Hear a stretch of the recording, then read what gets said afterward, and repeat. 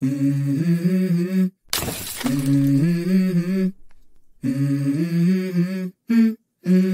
go.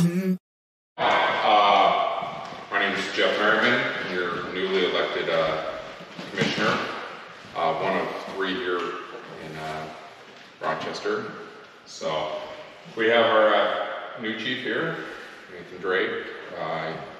He was a volunteer. He was part of the community ever since he was probably yay higher. So he's lived here a long time, and uh, we just promoted him and hired him as our chief and um, wanted to have a town hall here so he can introduce himself, give some knowledge uh, about the department, and I'm just going to turn it over to him real quick. Okay. So my name is Nathan Drake. Um, so ju- I'll start just a little bit about me. Thank you for the introduction, Commissioner. So uh, I, uh, I started here as a volunteer uh, with West Thurston Fire uh, my senior year of high school. Um, I grew up in the community, uh, went to high school here, graduated here, lived here my entire life in the Rochester area. And uh, so this, this really is my community. Let me start by saying that. Um, I after becoming, after being a volunteer, starting that, um, like I said, my senior year of high school, I went to college, uh, volunteered during college, uh, worked up at District 9 through their program um, while I was in college for a little while, running calls up there, uh, and uh, and then got hired uh, full-time here at that time District 1, Rochester, as a firefighter in 2008. So I've worked with at the fire department ever since.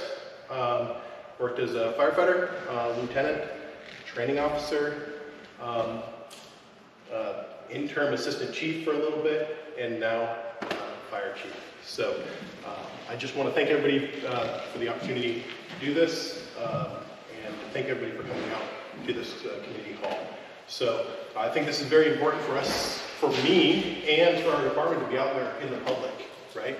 Talking to you, knowing what the community's concerns are. Yes, I grew up in this community, and I have concerns of myself with the direction the department's going and some ideas to move us forward. But getting community input for that is super vital, um, and uh, it's required for us to be successful as an agency moving forward. So, so that's just a little bit about me. Um, some of our plans kind of moving forward, and I'll kind of say just general plans moving forward. Uh, as I stated, we want to be out in the community, and we're trying to do that more. We're trying to be out there and more in the community as our firefighters, out at community events. We're trying to be in the schools more for uh, public education with our children.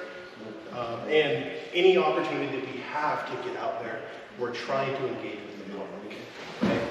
Um, yes, we're still doing this, run the calls, um, and when people call 911, being available and showing up professional and well-trained and able to do our job, we're still doing that. But we only engage with a very small percentage of our public by running those calls, right? Um, so we want to engage with the public in non-emergency events as well, uh, through these community halls, through this public education. So that's some of our plans moving forward, is just to be out there in the community more. Um, for the crews, that means in the schools, at those events. For me, that means doing hel- town halls like this, um, going to homeowners associations, going to any of those meetings that I may have an opportunity to um, meet with people. And uh, yeah, so hopefully you'll see more, I'm hopeful that you'll see more of me in the community. Um, and if you do, uh, please come up and talk to me. Uh, again, I'm open to input. I want community's input. Um, I want to know what we're doing right as a fire department. I also want to know what we're doing wrong, right? Uh, because it is important. And each and every one of you community members, you have ownership in our department. Um, and we do want to hear about that. So I do have just some, I'm not even going to say an agenda. Um, I have some talking points that I do want to talk about. Uh, and then I will open it up for some questions as well. So uh, I'm going to try to answer those questions the best I can. Uh, I'll be honest. Um, I, uh, I'm, I'm a firefighter, and um, I got in this job originally when I was young and uh, into this job because of the firefighting stuff. Um, and over the course, I have taken more administrative responsibilities um, through my job, um, and I've actually enjoyed it quite well, hence why I'm here now. Uh, but I have brought Shannon. This is Shannon. She's our administrative manager. And so she's going to help me with any budget questions that I'm not able to answer. I'm going to try to answer the best I can, but Shannon uh, is there with uh, a little bit more in depth in the budget and has a lot more know-how than I do on it. So uh, I did want to introduce her. So with that, uh, we'll kind of get started with some stuff. So um, as I'm just going to go briefly over the history. I don't want to bore anybody. But over the last several years, um, we've had some struggles, right? Um, and as a department, we've had some financial struggle, struggles over the years. Uh, in 2021 and 2022, um, our budget was looking quite well. And we had a, a maintenance and operations levy, uh, we had our levy, we were working towards all that stuff. And in 2022, uh, we failed uh, a maintenance and operations levy, an M&O levy in, in 2022. We actually failed it twice. We failed it in August of 2022, um, and then we ran the exact same levy in November of 2022, which also failed. After that failure, uh, we saw our, our budget uh, drop by 35%, uh, a pretty drastic decrease. Now, we took that, um, although uh, I will say it was a struggle for our department, uh, but we, uh, we did take that in stride uh, as best we could, right? Uh, after that, we were able to focus some of our stuff, slim our budget um, to make sure that we were able to properly provide that service um, that we always have. Uh, now, was it difficult? Yes, it was. Uh, last year in 2023, let get my years right here, 2023, uh, we ran a lid lift. Um, what the lid lift did is it restored our, uh, our base levy uh, to that $1.50 um, amount, that $1.50 per thousand, which is the base rate for fire departments. Um, and the highest we can go with a base levy. So we did restore that in 2023 and started collecting here in 2024. Um, and that was kind of uh, it was kind of a lifeline, right? We really did need that as a department um, to stabilize our budget, budget moving forward. Uh, the only, one of the difficult things that we had in 2023 though, is with that slash in the budget, that 35% decrease in our budget, um, we as an agency ended up putting a lot of things on the back burner, right? There's a lot of things we had to put off. A lot of maintenance of apparatus, maintenance of our equipment um, and our stations. We kind of had to slide that stuff back because we didn't have the money in the budget to address those things um, right away. So we did kind of slide that stuff back to the back burner a little bit because we had to. Um, in 2024, we are trying to pick some of that stuff up um, and address some of that, and we are. Um, but uh, we're not getting all of it done as much as we, like. But we are we are picking some of those those things that we pushed back in 2023 um, to readdress some of those issues. So one of the things I do want to focus on though is during those times, eh, during 2023 when our budget was tight, um, during this year uh, when our budget's still a little tight, but we're we are operating within our means, right? Um, we still operate currently with a balanced budget, right, in 2024, and that's always been our objective, right? Our objective has always been to run our fire department within the budget restraints that we have from the voters' taxes. We have not went out and taken out loans. Um, we have to have an operating reserve for three months while waiting to collect taxes. We don't take out a loan from the county for that, right? We roll that into reserves and we use that money responsibly? We don't go outside of our means. That's always been our goal. Um, and it will continue to be our goal moving forward. And also with that, during those times when we had those restraints, we still operated with a high level of service. Okay? During 2023, 2024, even though we set budget re restrictions, we still responded with good quality care right? Of professional, highly trained firefighters, right? That's always been our goal as well. Because ultimately, that's what you pay for. That is a service that we are here to provide. Um, that is actually the only service we are ultimately here to provide, is that when someone calls 911, um, we show up with good working equipment, highly trained and skilled uh, personnel to address that issue, right? Um, that's also goal.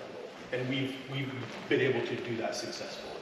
Um, and that will be our goal long term. We'll be carrying on those successes of, of providing that high level of service with those skilled professional uh, responders, right? So another thing that we have done as a, I believe is a success, is our volunteer program. I would say probably starting in 2019, 2020. Uh, I don't want to blow it all on COVID because it's not all COVID's fault. Um, we were actually struggling with our volunteer program a little bit prior to that, but we did see a lack in our volunteer program. Uh, right? Uh, our community has always been a shining star when it comes to fire departments and volunteer engagement in firefighting, right? I always say that fire departments are one of the few careers that you can still go and volunteer at. Um, and I say that because I volunteered for three years. And if I didn't have that opportunity to volunteer for three years, I would guarantee I wouldn't be in the same spot. And there's a lot of firefighters out there that can say the exact same thing, right? They didn't have a chance. And we still want to provide that to the community and get that service back from those volunteers. And that's been our focus, right? So I'm happy to report like this year, um, so far this year, we have brought on 12 new volunteers, right? Um, in 2023, or sorry, 2024. Uh, we currently have nine volunteers in EMT class in the county, right? Just to put that in perspective, there is 29 people currently in EMT class in the whole county, for Thurston County, and we have nine of them from our district, right? Um, that is huge. We have, in addition to those nine, we have five that are in fire academy, also. So in the last year, we have been working towards getting those 14 new volunteers that we brought on, those 14 through all that training. Um, and here in the next couple months, they'll be out on the road helping. They're all actually out there right now riding with our crews, providing assistance, getting experience. Um, but by next year, they'll be out there fully fledged, um, certified, uh, professional, highly trained responders. So we're going to continue to do that, and that will be our goal to continue that volunteer program. Uh, we're going to do uh, interviews here at the end of this month, and we'll bring on more. So those are some of the successes we've had, um, and those are the big ones uh, that we've had. We still provide great service, uh, and we're trying to get, and we're getting our volunteers uh, service out there. Uh, we currently at West Thurston have a Fire has the, have the most active volunteers um, within the county. Right? We do have the most volunteer firefighters in the county currently. Uh, my goal is to keep that going and let's grow and make it even more uh, way stronger for our community. So, now let's get into some of the challenges and the financial challenges. Um, and I just want to I, I want to state something here really quick that we so the purpose of this, uh, I will be talking about a levy that we'll be going out on. Um, I'm not advocating for uh, support or against that levy, uh, but I do want to make sure that we're providing you as community with the best factual information to make that decision. And I'll try to answer those questions the best I can. So this is just for us to be starting uh, writing some information. Is there ever a time when you don't go for the opportunity to get more money? What? Is there ever a time, like you- you just announced to me that you're gonna go for more money in this Yes. next cycle? Seems like I never remember any time that you, that the fire district isn't asking for more money, so. Yeah, and, and uh, you're in a sense right. Uh, we, there has been that endless cycle, it seems like. Um, now, I, I'll explain really briefly for the funding. is our funding um, with the current rules in the RCW for firefighter funding, right? We collect a dollar fifty per thousand on our base fire rate. Now, what happens is with the, uh, as property values go up or as more buildings come in, our revenue can only expand on one percent per that dollar, fifty per thousand. So our overall budget, um, even though we might have development or prices go up, uh, as they always seem to do, we can only actually collect as a fire district on that dollar fifty, um, one percent per thousand. One percent of increased revenue, um, per year. Right? Um, so if it seems like it, you're, you're right, it is. What, what is that figure that you got for, or that you're gonna collect for twenty-four? For your. So, yeah, so, so the, Total budget. so the figure, the, so the figure we're asking for in the lid lift or the M and O? No, what, what, what was your operation budget for, uh, twenty-four, for this year? For 2024, our operational budget is Mayor, firefighter, seven, Seven point six million. 7.6 million for the whole operating budget for the whole fire district. Now, what does that get, right? What does that, what do we have with that?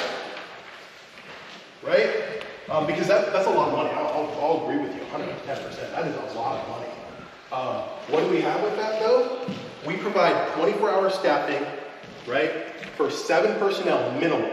They're 24 hours, 365, all the time available. Minimum of seven personnel out of three stations, minimum, right? Okay. Uh, we have 31 full-time staff, 26 volunteer responders, and we talked about that number growing, right? Uh, total of 13 support volunteers on top of that, that support our, there may not be responders, but they support us on other events and things. Five admin staff. Um, a total of 25 staff vehicles, five stations, right? There's a lot of stuff that we have to support with that budget. Um, and it is, it is challenging, right? It is challenging for us to do that. You forgot the Medicaid too.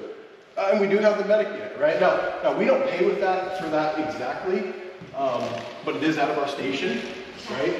Um, and we supplement that. Uh, that is out of the the one one station, right? The the the Grand Mound station. There is a Medicaid out there. Now that's manned by Tumwater Medics.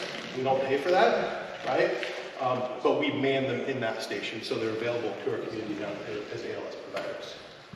So you're 100% right. It, it seems like we're asking for money all the time, well, because we are.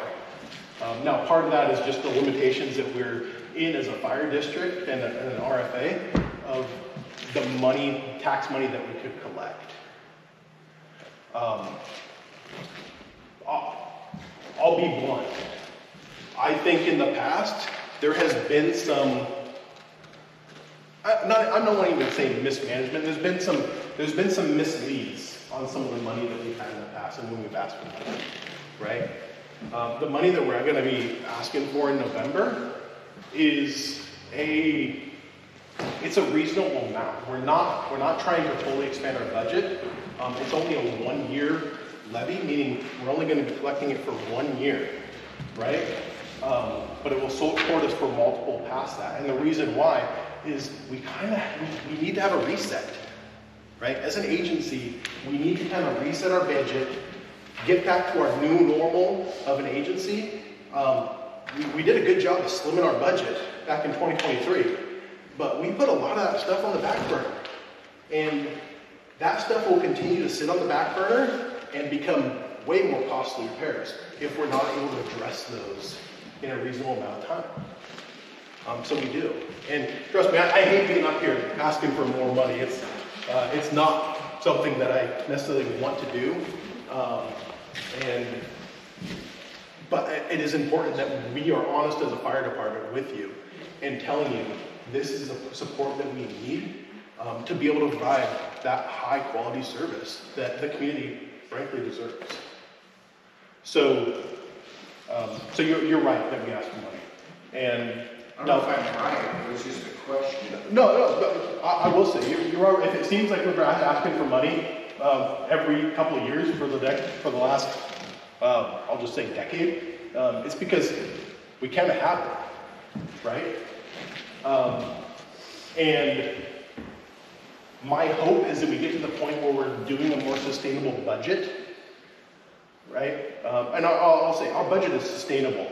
We need to get where we're managing that in a way, right? We are seeing community growth, which is beneficial to our budget, right? And that community growth is important for us. Um, but if we only do that community growth with the lid lift money, that standard levy, um, we can only collect one percent of that growth in our budget, right? When we're in that normal taxing. So, I have a question. yeah, So what are the, what are the items that you are planning to, that have been on the back burner that you want to spend Yeah. money on? Yeah, so some of the stuff that we have, um, we have some, oh, we have some, um, I'll, I'll start with some facility maintenance. We've had some facility maintenance, um, things that have come up such as, uh, we have some roof, some leaking roofs at some of our stations that we've done some, I'll just say some temporary patchwork on, right, to stop those leaks. Um, well, eventually those, those stop gaps will only work so long, right? Um, so we need to do more intense repair um, on that- those roofs to keep that damage from happening. So we, we've been able to manage that fairly good, but we're looking into the future, right? And, and let me be perfectly clear, like, again, our budget for 2024 is a balanced budget, right? And we're trying to keep it that way. Um, so for us to keep that pretty balanced budget, we're not, thank you. For us to keep that pretty balanced budget, right, we've had to put some of those larger projects that maybe are immediate concerns to us because, but we, we see them coming down the road, right? So that's one example. Some of our apparatus, right, our, our fleets are, our fleet is aging. We do have some fairly new apparatus which are running fantastic, um, as they should. But we have some older apparatus that are, you know, they're 25 years old. Um, they're getting up there in age, and they've been ran pretty hard. So one of them we got as a used apparatus, which was a pretty good deal. Um, but that thing's running pretty hard, and we know that at some point we will have some kind of catastrophic failure for that. Now, what that come out to? That right now we don't have the excess money because we're trying to keep that balanced budget to repair that apparatus. So what would we do? We down that apparatus. Um, we have enough apparatus right now where having one down isn't going to be a catastrophic thing for us, right? We will still be able to run calls. Now, but if we had two go down catastrophically, um, now we have a bigger decision to make, right? So what, what we're trying to do with this with this money um, that we'd be collecting in 2025 is look forward into the future with those stuff and how we can maintain this stuff for and get ahead of some of these issues rather than trying to constantly play catch up. I'll, I'll tell you right now, we are constantly playing catch up, right? When something gets down, we're fixing it uh, the best we can um, versus trying to get ahead of those issues just because we're, again, trying to work in that balanced budget. Uh, does that answer your some of Yes, your it does questions? answer your Okay. question. Uh, yes, Vinny. You forgot to mention the well. Oh, yeah, Yeah, yeah. well, A, a big one, right here. Uh, one, one six, which is our Maytown Fire Station. Um, there's a pretty big well issue there. Uh, the water that they drilled there, it has extremely hard, harsh water. Um, so much that we end up replacing, uh, pipes and pumps and everything, um, every couple of years. We just replaced Every year right now. Every year, we, we replace the, Like new the main pump, um, there every year because it's just corrosive, crappy water, right? And, um, there's not, the only thing we can do different is drill a new well. I That's, that's pretty costly. So that, that would be another example, thank I you. did have a, a, a Yes. question. Um, with the county, we had an ERR budget, like an equipment replacement budget. Oh, sorry, what was that? In the county, we had what we call an equipment replacement budget, where you Yeah. budget, do you guys have something like that? Yeah, so, so we, so her question is, do we have a equipment replacement budget? So, an idea that we could stay ahead of that, right?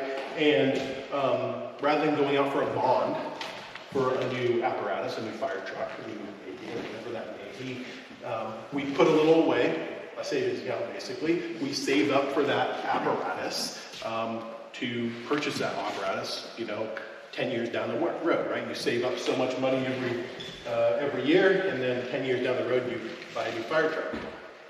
We operated out like that for a long time, um, and that was our plan, right? We were able to do that. Um, we were able to buy apparatus uh, that way. And um, in after 2022, so in 2023, that was one of the first things that got cut, right? One of the first things that you cut is, well, your savings, right? Or at least putting into your savings. So that's what we did, right? We cut that. We cut, we quit putting savings away for brand new fire trucks, right? Um, so, so we do not currently have that, right? Um, now, some of our, some of our long-term goals and part of that resetting, that budget, is to try to put that money away um, every year so we can start saving up. Okay? Um, now, that's one of the challenging things to do, right? Uh, I gotta be honest, it's no different than your personal finances, right? Um, it's, it's the toughest thing you can do is try to save that money um, and put it away um, and go buy a new car with cash, right? That's, that's honestly what we try to do with our fire trucks. Because really, that's one of our only options for purchasing. Um, when we make a large purchase like that is either bonds, we take out a loan, um, or we pay cash. And paying cash is the most cost effective for us. Right now, we're not in that point. We do not have the savings, we do not have the apparatus um, replacement reserves that we put in because that got depleted, that we, we quit putting into that fund in 2023. Um, We're not planning on, and unless we get to the end of this year and we got some extra money, which we'll take a look at that, but that'll be a decision the commissioners have to make, but um, we, we have not been putting that money away. Um, And that's one of the things we would like to do. So when it comes time to surplus out a piece of equipment, Yeah, you know, you have a budget to replace it. That apparatus gets sold off. Does that money that you generate from that go back into It- it- your replacement? Um, yeah, so we've, we've done a couple different things depending on how we surplus out rigs in the past. Um, it either comes back into the general fund and then gets reallocated either to that replacement fund, um, or we just kind of calculate that into the, the general cost, right? Hey, we're gonna deplete, um, we're gonna take an extra fifty thousand out of the general budget, um, to buy this apparatus using that replacement fund, knowing that when we sell this apparatus, we're gonna get fifty grand back in there to put back in that, right? So is that determined by the commissioner? Um, the surplus of the apparatus?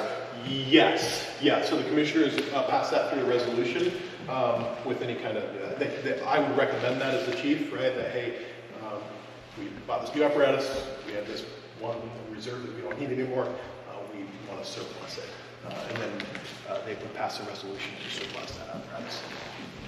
And that's how we get rid of, honestly, um, everything, right? Uh, We have to keep track of, we're, we're evaluated by the state auditor every year. And part of that is we have to have a very clear policy of how we buy stuff, and then also how we get rid of stuff, either damaged, um, or when it's no longer of use to us and we surplus it. So do you get any state funding for any of this stuff? No, so fire department funding, fire department is fully funded by local local tax dollars.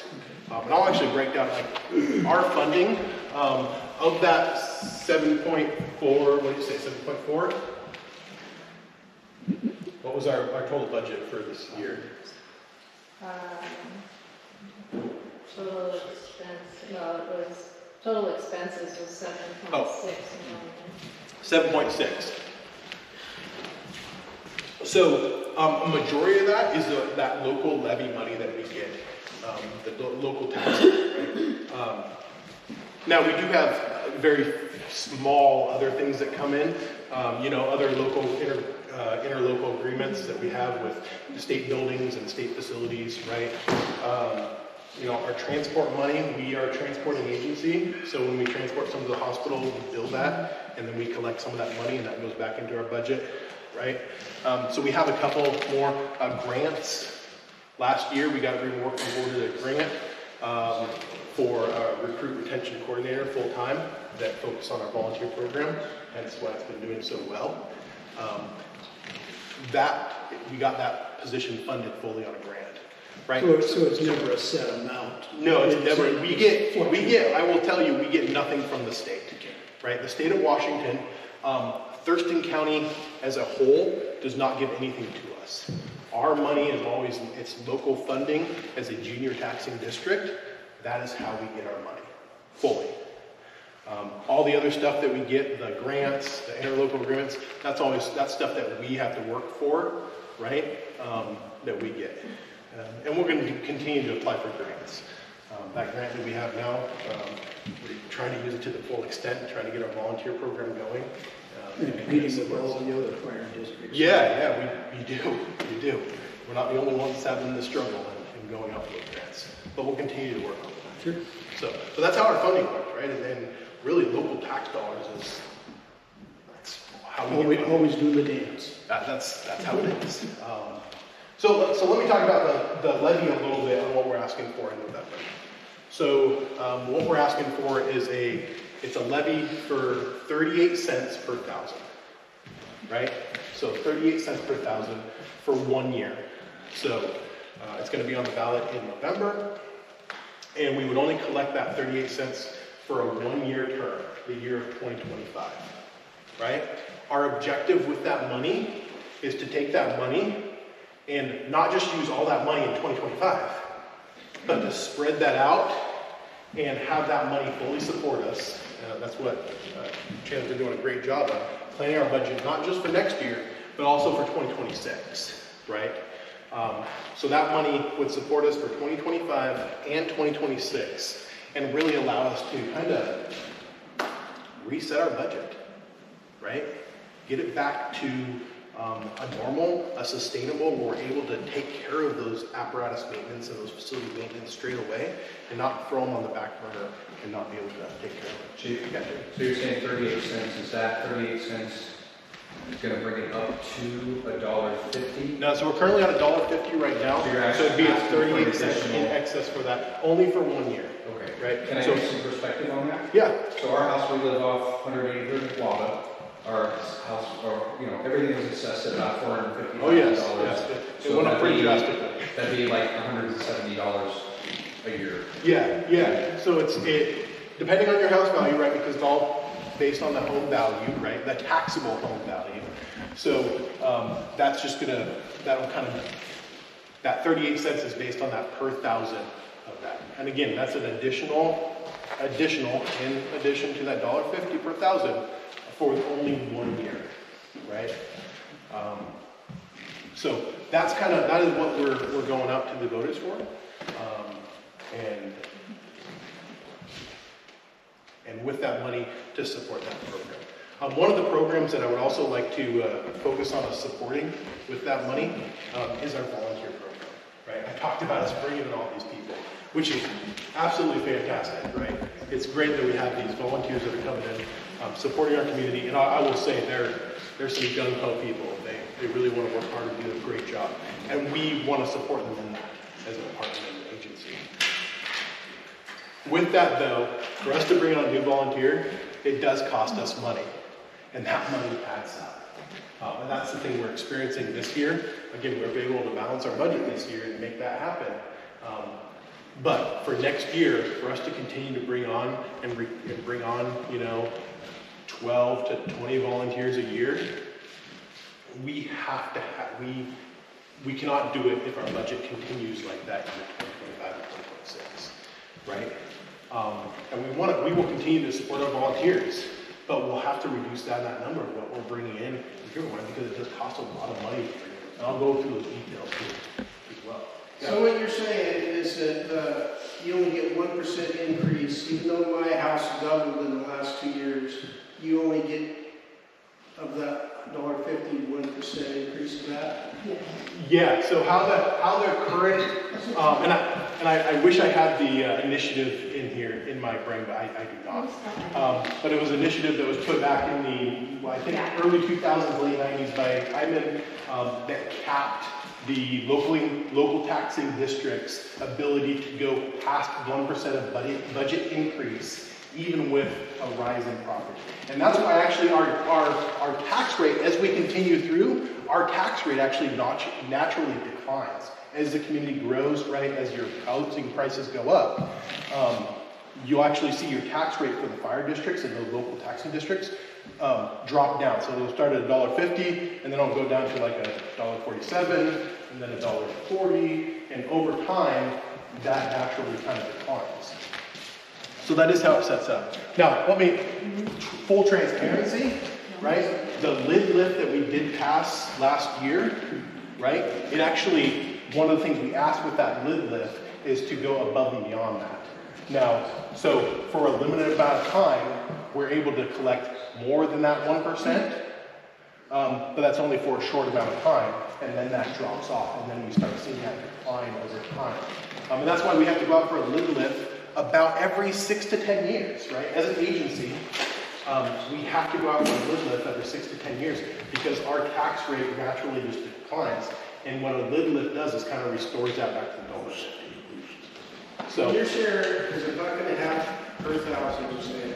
yep, So it's a buck and a half per thousand, but when my house doubled in price, you didn't get a buck and a half on the second half. no, Somebody did. someone did, not us. We're- Okay, okay, so- now, could- is there any initiative that we could pass that says you get your share of that instead of whoever got it? So, so let me, let me just, um, and, and again, I'm not, I'm not a tax expert, but, so, when you have your taxes, right, your taxes are broke down in several different things, right? The state takes their piece for property taxes, the county takes theirs, and all these different things. If you look at our, our, your, your tax form, I'm just going off of what mine says, um, there's a little bar there that'll say like fire district, and it will have that percentage. And it'll actually say the tax rate. So yes, ours dropped. Now, as a junior taxing dis- district, that's the parameters that we are under, right? That we are only allowed that one percent. The state, the state, the county, they're not under those same rules. And they continue to collect off that assessed value even beyond that, that one percent. My real question is, instead of you going for this uh, bond, can, can you put it up for like a year that people can say you're entitled to your fair share of that money instead of one percent? And instead of the people getting it and got it, it was meant to go to you. Yeah, A buck and a half per thousand was meant to go to your, my house doubled, but you don't get the buck and a half for the second five hundred thousand. that, that would be, that would be nice. Now, that takes a initiative, right, a state initiative to change that, um, RCW, that law. That changed the RCW, I mean, can we, can we make a vote that you get that, that You for a can- year? Not a vote, no. Um, the only, let me just, the only way, there's actually only, there's three, there's technically four. There's only really three ways that we currently, as a fire district, can get money from the taxpayers. That's a lid lift, restoring that dollar fifty. It's an excess levy or a maintenance and operation levy, which is what we're running here, which can go above and beyond that, right? And then a bond. Okay, um, that's really the only one. There is a fourth one that fire districts have access to, which is a fire benefit charge, um, but that takes a whole restructuring and we'll- we ain't doing that. Um, so, And just so you know, the one percent wasn't just for junior taxation, it was county too. Okay. That's why you saw Tye Menser and some other people trying to raise that to three percent this year, which would have raised our taxes two percent. But if you look, your values may go up, but it doesn't mean your taxes went up. Just that they gotta get the share of what. yes. No, they can only get one percent more too, but what happens is, they're, it's, it's not, they're not really sure whether the county says, hey, uh, assessor, I need this much money for my budget, and he goes out and figures out what things are, that, that's real questionable how that, they're determining our values. Yeah, yeah, that's, that's a way more That's why you than we're gotta-. That's why you gotta go for Raleigh. Uh, yeah, yeah. Uh, So that's, that's just, that's some of the challenges that we have in the fire department, right? There's just, there's only so much ways we can fund the fire department, there is. And, and yeah, those, going out for grants are great, and we will continue to do that, right? We will continue to compete and apply for those grants, because, um, to be honest, that's just free money if we get it, right? Um, so we will continue to do that, right? We're gonna continue to find these other funding avenues. Another funding avenue that I didn't talk about that we, we participate in is we as a fire district participate in state mobilization. Um, which means that we take a, we take an apparatus, right? And we send it to eastern Washington for a fire, right? Um, and when we do that, um, the state reimburses us for that apparatus. They pay us, they reimburse us for the crew's time, um, so it's not a cost to us, and then they pay us uh, per day for that apparatus to be over right? Um, and this year, I don't have, we don't have the exact numbers yet, but you know that brings in some extra money for us, right? Um, so there, we try to find those other funding avenues that we have, um, but we're just limited. The bulk majority of our funding is from local taxing. Also, we have, um, we have three bonds right now, and all in District eleven, which is Little Rock. And they're all gonna be coming to, uh, conclusion at the end of twenty twenty-five, and one of them at the first half of twenty twenty-six. So, when you look at your taxes and you see where money is being allocated, not necessarily down here in Rochester, but up in, uh, up in District Little eleven, Little Rock, yep. it will show that there's no longer any funds being um, taken from part of your taxes to pay for that bond. And that bond, the three bonds um, that we have is, one of them was to uh, update all of our new, uh, they're called SCBA's, the breathing apparatuses that the firefighters use. Um, Ours were out of date, um, old, and needed to replace all of them, so we went out for a bond on that many years ago. Uh, it also paid for two of our aid units, which, uh, we're still using in the detaining. Uh, and the other one was for, um, one of our fire trucks. So, you know, at that, although we're asking for thirty-eight cents, come the end of 2025, first part of twenty twenty-six, the amounts being collected to pay for that bond are also coming to an end for the tax. The bonds, and I'll, I'll be honest, bonds used to be the, the main way, way that fire departments funded, right? I need a new fire truck, gonna go out for a bond. You need a new, uh, station, go out for a bond. Um, and bonds are great, um, except for they're, they're a long-term loan, in a sense, right? Um, that's what a bond is. So if we go out for bonds for stuff, um, yeah, your tax rate will only go up by maybe twenty cents per thousand. But it goes up for twenty cents per thousand for twenty years, right? Um, what we're trying to do is honestly just for right now to kind of get us caught up and get us to this point where we could um, try to get this thing more. I don't really want to. It's not like we're not way off the tracks, but just to get us kind of back to resetting and taking some care of some of that stuff that we've kind of put off for a little bit. Um, we're, we're hoping for just that one year, that, that one year to kind of get us back on track.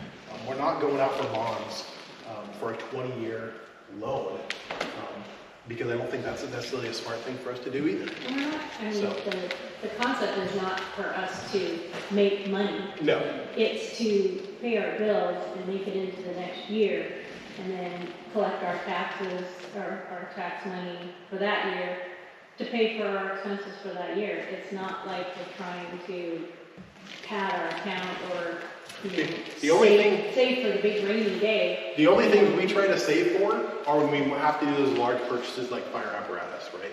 When we, when we try to save for that stuff, so five years down the road, we can try to buy a new apparatus. That's, that's what we try to do, and we're currently not doing that. Right, because in 2022, the M and O levy ended for both Rochester and uh, District 11.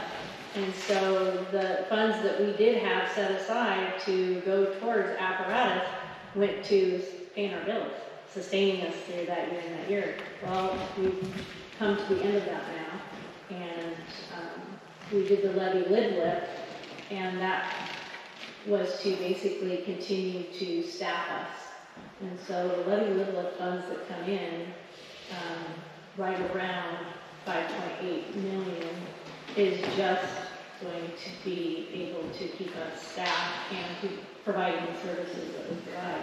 It's not accounting for, um, an engine replacement, a, we just did a new, was it pump transmission, something Yep, or we did- we had a new, we had a pump failure on one of our apparatus. uh, and we didn't have, you know, we didn't have the fleet reserves to take care of that. It was about a forty-five thousand dollar endeavor, so that just comes out of our regular, you know, day-to-day operations budget. So you have little things like that, new pumps in the well every year at Station Six, you know. It's those things that we just can't, you know, with how the funding is coming in, we just can't catch our breath at that point. you know, that's why it's only gonna be for one year. We're just trying to get by for this year and next year and then And then using those money and expanding them, right? So we collected twenty-five, um, and we spend that, we could spend some of that money in twenty-five, but also twenty-six, right? Um, and hopefully set us up for beyond that. Uh, yes, Yeah, I had a question. Um, I can't remember if it was last year or the year before, they closed the fire station over here. And then all of a sudden it opened up because something, I don't, you probably don't want to talk about this, but with the Chehalis tribe. Yes, Like, yep. exactly what was the deal of like, what, they decided to fund it or what was? it? Yeah, so, so in a sense, um, yeah. and- and You don't need to go into No, I, I will go, so, Yeah. I'm open book here, right? There, there's nothing, again, this is your fire district, so I'll be completely honest with, and try to answer the question as completely as I can. Now, I I wasn't in, understand what happened. I, I will explain what I know. Um, I was not the fire chief then, but I can, I'll try to explain it the best I can. So, yeah, so back in 2023, um, uh, I- let me back up. So 2022, we, after failing of that levy, there was those match, those massive budget cuts, right? Part of those cuts that we did was actually, uh, we did shut down uh, Station 130, Albany Street right over here, um, and shut down that um, for a period. And that was because, uh, well, we were trimming the budget. We trimmed it everywhere we could. Um, So that was one of the things that we did to trim that budget. So um, at that time, we were still working with the tribe. We were in negotiations um, with Chehalis uh, Confederate Tribe to work on uh, a contract for service, right? So we were working on that with them at that time. Uh, They came back to us um, and we, we negotiated and there was a proposal that came back. And part of that proposal of the agreement is they asked that that station be reinstated. Um, which our thing with that was as long as that funding was able to offset that, um, it would be benefit, right? It's benefit to the tribe, they obviously want it because it's close to their facility where we provide services, right? Um, and then, but it's also a benefit to our community here because now we're opening up a fire station, not just for the tribe, but to provide that service. So that's kind of how that agreement went down.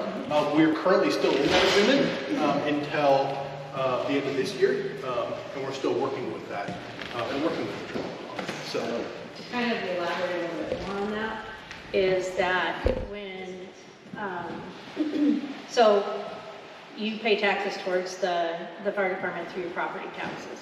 So when tribal, tribal entities purchase properties and it becomes sovereign nation properties, we no longer get tax money from that property. Right. And so what we were trying to negotiate with the tribe is what's fair and equitable, uh, based on the properties that you have that we provide services for. And so we are at the contract negotiation, it is, uh, they pay a percentage of the amount of calls that we respond to at their locations. So it is not what it would be if we were receiving tax dollars from all of that land. However, it is providing for the services that we do provide for their properties. What is the number that you're hoping to get if you pass the levy for thirty-eight cents per thousand? uh, you mean the dollar amount? So that dollar amount, that 30, and, and let me, so that 38 cents is an estimate. So as property go, values go up, that number actually would drop from 38 cents down. So when we actually go out, we ask for, for an excess levy, an a maintenance and operations levy, um, we ask for an amount. The amount that we're asking for, for that one year, is 1.5 million, right? And again, that 1.5 million, um, to uh, help with that 2025 budget, but also that 2026 budget as well, collecting only in the 2025. It's not very much. No. No, it's actually, uh, let me see, if it comes out to, it comes out to just under, uh, I think it's about, just under 15% of our budget. Um, So, How's the DNR sales factor into your budget? So the DNR, so as, as some of you have heard at the county, um, Thurston County is challenging the timber sales, um, within Thurston County, right, um, on DNR property. Um, those sales, part of that percentage of that sales, um, goes back into the local community, both the school districts, um, the fire district, we actually, we get a small percentage of that as well. Um, so what I will say is, um, we, we don't know, DNR has provided us estimates of how that would affect us. Um, we don't know for sure because we don't actually know what money we're getting from them until they write us a check and we get it in the mail. Um, but our average comes out to just about anywhere from twenty to forty thousand a year. Yeah, it's not, it's not ginormous. It, it's pretty small for us. Um, schools, it's a little bigger deal, um, because schools obviously, they get a larger percentage of those sales. Um, we get a pretty small percentage, so, I mean, it, so it can affect us, yeah, having an extra twenty to forty grand, that could really help us with buying some equipment we may need, right? Um, stuff like that, so is it helpful? For sure. Um, is it, is that alone gonna prevent us from going out for this levy? Um, no, no, it doesn't, it's not that big of a difference in the overall scheme of things.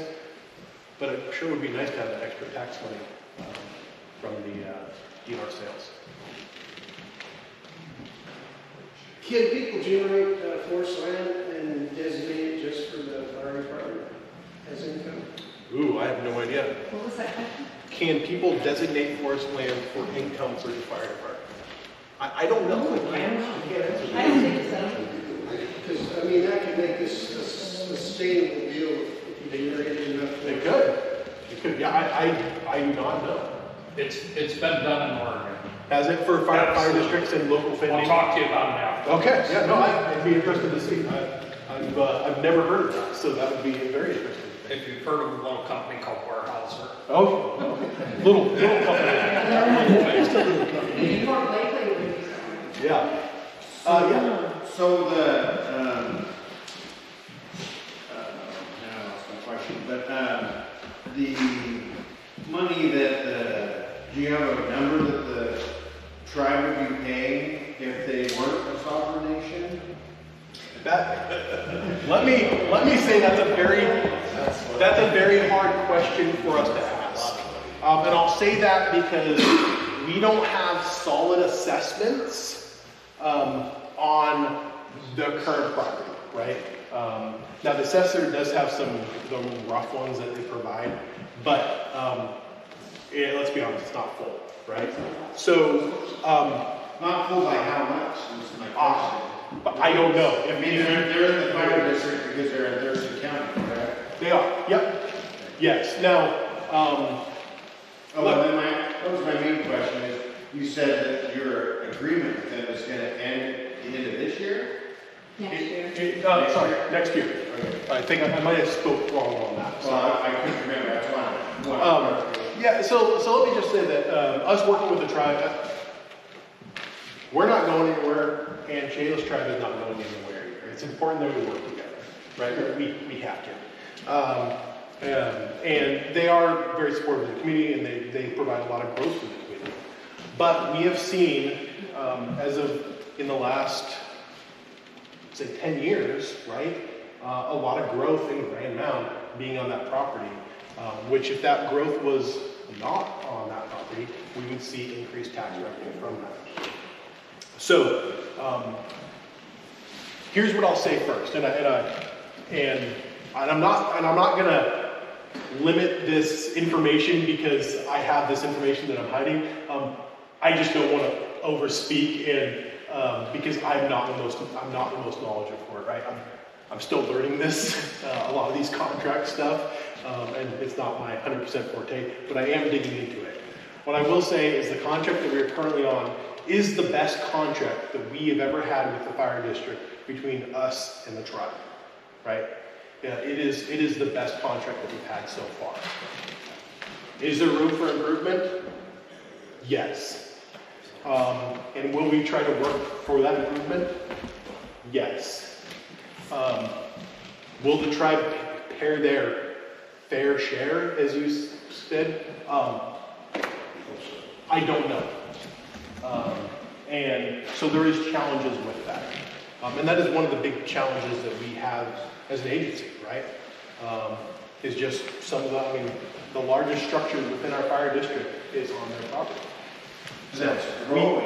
you And know, it- and it is growing. More ground last year. Yep. We got the state taking over agriculture ground for Yep. private, or, you know, state reserves, you know. Yep, and that's, so there, there's, we actually, um, so saying that we don't get it for track, we don't collect tax money, um, from the state either, right? So if there's state buildings that are, um, and I'll use like Maple Lane for an example, right? Maple Lane, we do not get tax revenue from Maple Lane. Now, we do have a service contract with them, right, that's based on their AV and based on our current tax rate. So that's what we currently do with any of the state programs and those ones that don't Well, pay. You don't, you don't get any money on, like, uh, the release side. We do scan not, area. nope, When they there's none. turn around and go buy it from a private landowner, that you've been getting tax money on for Exactly. the last 40, 50, 60 years. Yep, yep, we do not. Yes, Commissioner? So, uh, on, you brought up Maple Lane, um, that size of, uh, state property with the infrastructure on it, what is the rough estimate for Oh, we- pharmacies quarterly? We just, um, I'll I'll just say yearly, I think we just signed a new contract with them, and I think right around eighty, eighty-eight thousand? Yeah, right around. Right around eighty, we just signed a new agreement with them, which is based on that tax rate, eighty-eight thousand a year. So, Good number for a small property. comes out to about, you know, yeah, twenty-two thousand, uh, or, yeah, twenty-two thousand dollars. So, and that's what we, and we have that, those agreements with any of those state, um, so like in our facilities, we have Maple Lane, we also have uh, Cedar Creek Correctional, um, Bordeaux as well, so. Yeah, Vinnie? So Nathan, there's a lot of negotiation going on right now in Lacey with the tribe building the huge stuff. What, do you think there'll- something will come out of that that you can use as a comparison? Because I know that Ms. Foley tried contracts with Fire District Three. They do, For yeah. fire services. Is there any comparables that you can use on that? Uh, maybe, I, I know I'll communicate with the chiefs at Lacey Hamlet's also pays, to do that, so I think that is an important thing, yeah. yeah. to have those conversations and, and see it. And we're, we're not the first and the only uh, fire department to um, be dealing with this issue, right? Um, and, and we won't be the last. Uh, but, but I think it is important, and I just want to restate this, right? Like, we have to work with the tribe, um, and they have to work with us. And we can work together, and we can come to some kind of uh, agreeable solution, right? Um, again, is it going to be perfect for all parties? Well, if you have a contract negotiation and any party comes up on top, that's contract negotiation, right? But um, I think there's areas for us to improve our relationships um, and ensure that we're getting the um, the revenue that we need from them to support our agency. in the what, what future. about, because that Fayette, the land is actually in the federal trust, right? It is, yes. So Uh, has, any- yes. has anyone ever tried to go out to the feds for the money?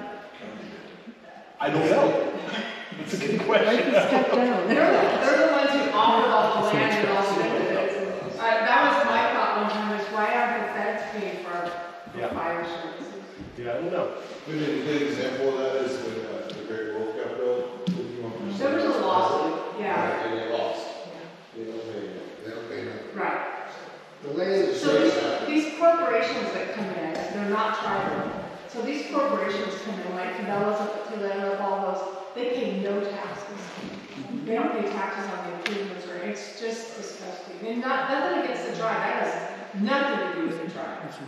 But it is wrong that it's, it's that way. We did lose, um, we won originally in court, it was Patricia Costello brought that lawsuit. And we lost an appeal, but then you look at our courts, they're pretty liberal, so. So, so one of my, one of my goals moving forward, um, is to continue to work with the tribe, right? Um, and, and have that open line of communication so we can work through these issues, um, and try to, again, they're, they're super supportive in the community, in several different ways. And uh, we just want to see if we can help them out and they can help us out, right? That's our goal. Right. So, um, any other questions? Yeah. Yeah, what's the, what's the health of the fleet that you guys have right now? We, we we talked about apparatus. Yeah, we did. before, Aging and that. So, so we have a couple, um, we have a couple 1995 fire apparatus, right? Um, that are still in service. We have one actually right over here on Albany Street that's in that location right now because one of our rigs is out for service. So uh, we, we use those 1995s as first out. Um, and those are aging. Now, we keep them serviced, we get them pump tested, um, and they pass and they keep that going. Uh, for how much longer? That's the concern, right? So are they still working? Yes, they're still working. They're on the road right now, and they're on service, and they're um, out there fighting fire, um, and they're doing a good job at it. But as we start getting in that age, you know, um, that fire, fire that fire truck's been used for quite a while, um, and it is it is aging out pretty quickly. Um, so we are we are those are when those get to the point where if we get a catastrophic failure in a 1995 fire truck, like we like uh, Shannon explained, like the forty thousand dollar pump, right? Um, that was in a 2007 fire truck. If we have a forty thousand dollar pump that we have to put in a 1995 fire truck, that's not worth it, right? Um, and we would probably be cutting that apparatus. What's the average life of a fire? Um, average life of the fire, that's, that's a good question. Um, usually 20 years. 20 years is kind of usually the cutoff. Um, and that's for a couple of reasons. Um, for one, that's generally just the lifespan that we see in the fire service in general. Um, and then the, the Washington State Surveying and Rating Bureau, WSRB, that does your insurance ratings, um, they come in and they rate the fire department. Um, and 20 years is actually the cutoff that they have for that. So anything that's older than 20 years, you actually get a negative grade. Anything above 20 years. So there is some benefit to the agency not having apparatus over 20 years. Um, sometimes that's not always possible. So when I asked earlier what happens if the surplus stuff, just a curiosity question, is there other fire departments like in eastern Washington that would be buying some of the surplus stuff and still utilize it? they do, yeah. For For sure. forty Yeah. years? Yeah, they will, and, and they definitely will. Um, and we had a, Onalaska, Barry, is that who bought our last fire truck Onalaska? They bought the, Dakota bought one. Dakota. one we sold or one that they bought? um, the one they sold, Bucoda? Dakota took one of the. Okay, so we have sold them to those departments. Um, and, and that's for a couple of reasons. For one, we just, we just say it's not really worth ours, right? We see that negative rating. Um, sometimes some departments would rather take that negative rating on a fire engine because it gives them a positive rating on having just another station staffed, right? So they gotta weigh that as positive. Um, for us, and again, we're there, right? We have two apparatus over 20 years. We tell ourselves, we, we've done the math, and we say it's better for us to have a slightly negative rating on those fire apparatus being over 20 years. But guess what? They're in fire stations where we'd have to buy new apparatus. So it's not really cost effective for us to do that. Um, but we do get to the point where those fire apparatus eventually, being that old, it, it gets to the point where it's not worth us putting a lot of money into keeping that thing in service, right? Um, we don't want to keep on throwing money at those, those old apparatus. Right, Does that answer your question? Sure. Okay. Yeah. Could you talk about the fire rating bureau and what we were able to do even through tough times? Yeah, What yeah. So- to the taxpayer? So we get a rating um, every three to five years. Uh, the Washington State Surveying Rating Bureau, that's the person that does your insurance rates, right? So your insurance company looks that information up, and what they're able to do is they tell you how, basically it's a grade for the fire department, right? Um, and they grade you, the fire department's response um, for lower insurance rates. Um, over the course of uh, the last five years, we've been in general able to keep those rates fairly sustainable, right? Um, we haven't necessarily improved them, but we've kept them at the rates that they are. Um, now, there is a recent exception to that, right? Um, this last rating that we just had, we did get it up in the rating, um, which is which is bad uh, so an increased rating. Um, out in the um, Maytown area, Maytown and Tilley Road area fire district. Um, and that was because of the staffing of either the Scott Lake or the Maytown station, right? Um, we couldn't show that. Now, what I will say is our staffing hasn't changed out there in the last 10 years. So uh, I don't know why they recalculated it differently, but that's for a totally other discussion. Um, and we're seeing this with multiple other fire districts around not just the county, but the state, where the ratings are getting uh, more serious. My honest opinion, I think the they were very loose in their interpretation of fire districts and that grading process. And now, due to some of the insurance issues they've had in the state, I'm sure we've all seen that with insurance rates going up, um, they're being a lot stricter in how they evaluate that. And that's part of that. Now, what are we doing to improve that area? Because I think that is an important thing. So, um, rather than that immediately taking effect, we actually sent a letter to them asking for a one-year variance to address that issue. Um, and for us to address that issue, for us to show those stations as staffed, right? Because those stations, uh, and I'll say the Scott Lake station specifically, we do not put staff there 24 hours a day, right? It's a station, it has an engine in it, um, but because it doesn't have 24-hour station, 24-hour staffing, for the Washington State Surveying and Rating Bureau, it's not counted as a staff station or responsible station, so therefore it does not count in that five mi- road miles to those properties that get a reduced rating. So we asked for a one-year um, kind of variance on that to allow us to get that up to that number. For us to show those stations as staff, there's either two things we have to do. We either have to have two people, firefighters there 24 hours a day, seven days a week, all the time. And we got to pay for that. Or we have to have volunteer staffing, and we have to have six volunteers, right, within five road miles of that station, for that to be considered a responsible station.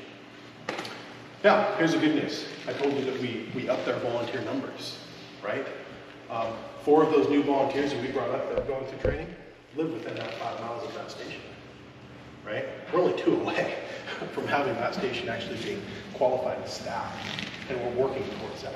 So that's our goal, and, and that's one of our goals with upping this volunteer program, um, is so we can staff these stations and have responsibility, response out of there. Um, although it might not be, might not be 24 hours a day, at least it's something, and that counts for the Washington, their survey bureau. So that's one of the things we're trying to do out of that area to make those stations staffed. Um, But I will throw out we're always looking for volunteers. If you want to volunteer, um, come on in, right? Um, So, but that's what we're trying to do with that. The rating bureau is, they look at everything, right? They look, some of that stuff is in the control of the fire department, right? Like our training expectations, our staffing, our apparatus and fleet age.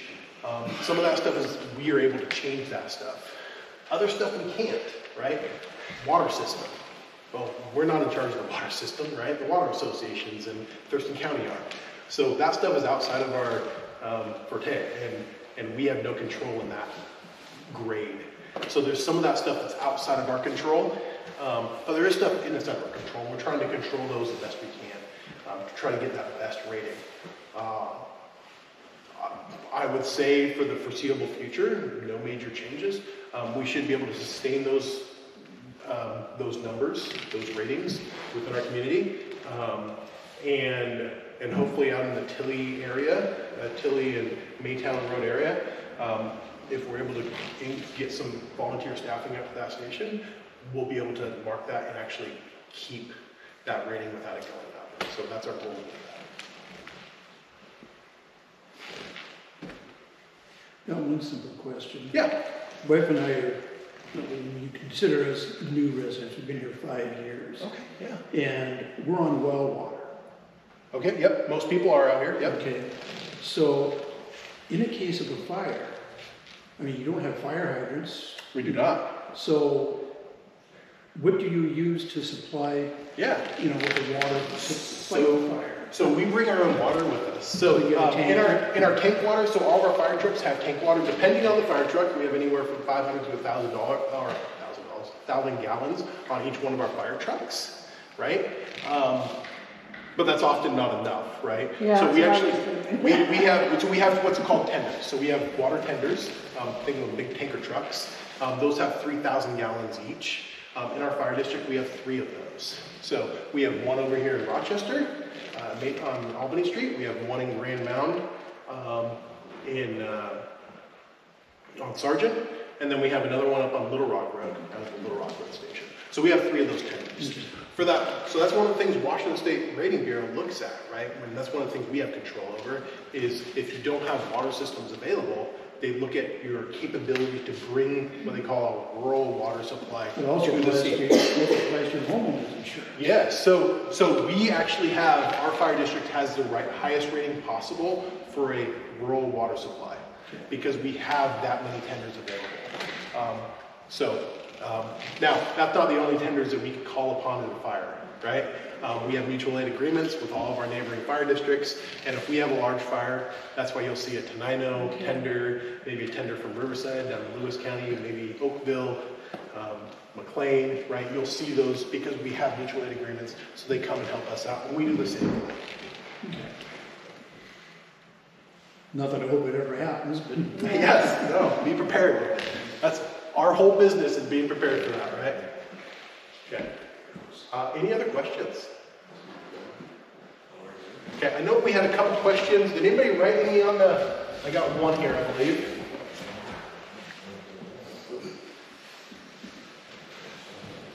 So I do have one, anybody have any questions they wrote? If you feel free to bring those up if you want to. So I do have one question here that someone put up on the podium.